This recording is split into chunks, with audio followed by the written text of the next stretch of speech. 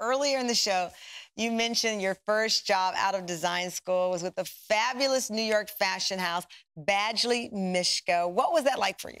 Well, it was everything I could have wanted it to be. I mean, when you go into fashion school, you envision yourself being able to work, you know, on fashion shows and design pieces for celebrities and kind of work at this level of fashion. And I was just beyond lucky and grateful that I had the opportunity to kind of just go right into doing something that I was passionate about. And so I had the opportunity to work on dresses for Robin Roberts, for you know Carrie Underwood, and it was just you know so so special to me. I learned a ton, and I wouldn't trade that experience for the world.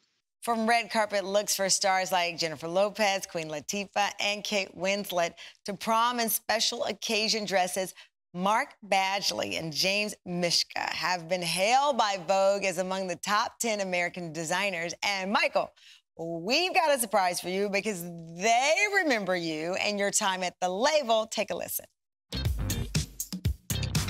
I'm Mark Badgley. And I'm James Mischka. And we are the co founders and designers of Badgley Mischka. Michael was one of our favorite employees. He's a fantastic guy. He's very talented. His work for us was fantastic. He was with us for two years, and I was very sorry to see him leave.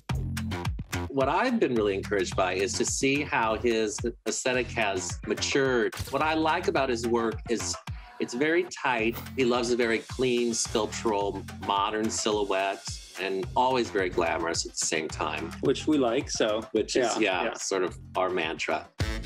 The general public has this impression that fashion is 100% glamorous 100% of the time.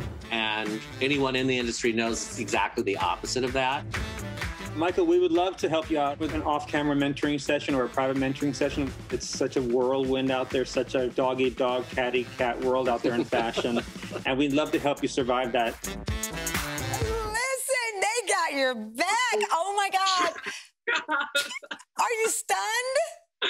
I am overwhelmed. I mean, I had the best time working there. It was truly a dream coming right out of school into that and and seeing them who I almost like idolized in the office just have that you know note for me and being able to go beyond this conversation and and you know have a mentoring session with them Oh my God. Okay. Now I definitely need that glass of limoncello you were talking.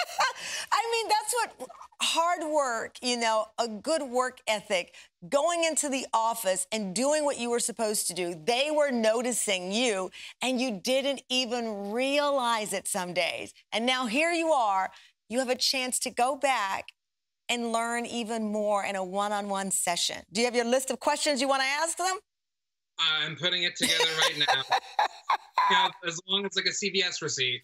I love like a CVS receipt. Well, you know what? Congratulations on everything. I know more amazing things are to come for you, my friend. Bravo on everything. Thank you so much, Tamron.